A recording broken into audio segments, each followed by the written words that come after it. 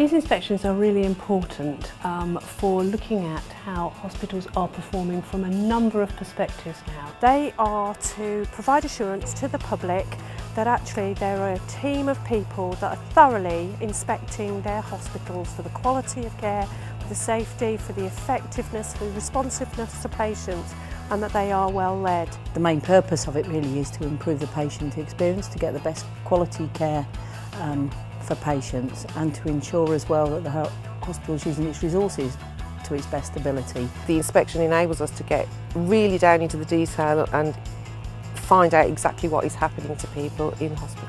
These inspections are, are really making hospitals think about the way they do things, um, the way that they deliver their care to patients and to make sure that what they're doing is patient focused. It's a lot of information coming in, a lot of data coming in.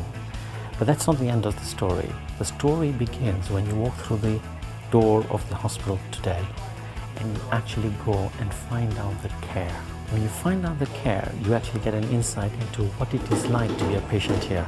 The teams are multidisciplinary, so they're made up of lots of people with a different take on things. We're trying to look at this from every aspect to ensure that we are really challenging this from the top of the organisation to a very local level. There's quite a large team of us made up of clinical specialists, um, inspectors, experts by experience and they are split into groups to look at various core services around the hospital. We also have, and I think this is really critical, we have public representatives, we have lay representatives who are there to represent the patient and public perspective. My role as an expert by experience is to feel in the patient information uh, into the process so that in any decisions that are ultimately made, management are better informed to make those decisions. Being a patient, you bring that experience of coming to somewhere that you're not familiar with and not the expert about and you hold that much more, I think, in your mind when you come in as an expert by experience. My role as a doctor on these inspections is quite unique. Um, I think that I'm able to provide a slightly specialist input um, and perhaps be able to ask questions that lay people or non-professional uh, medical people might not think to ask. I've been involved with this for a while and I've seen improvements, I've seen changes in attitudes, I've seen a, a, an increased recognition and awareness that the patient is the important person in the process. For the public, I think there's a reassurance that we are being thorough that we're looking at it from bathroom to boardroom and I think that's so important.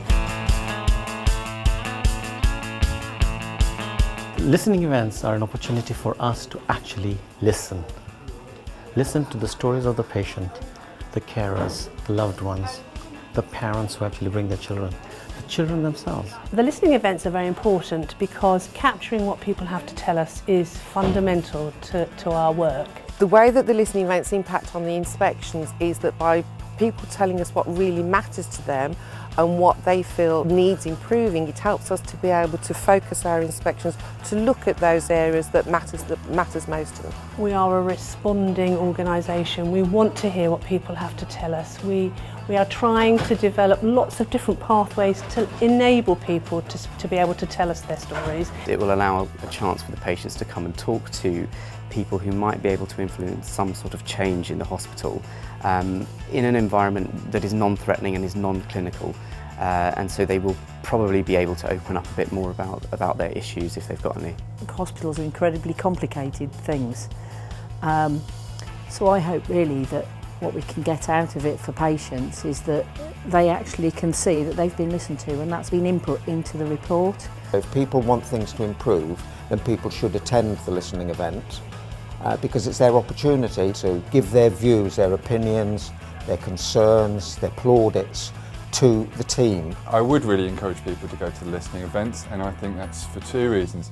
Uh, firstly, your information is really valuable to us. Secondly, we just want to get an idea of how the general community values their hospital. People get involved by the listening event by going onto our website where they can actually register to attend the listening event. Um, there is also the opportunity for people to be able to send in their comments using our web forms and by contacting our national call centre. Come along, engage with us. If we don't know, we can't do anything about it. So yeah, please come along and, and uh, let us know.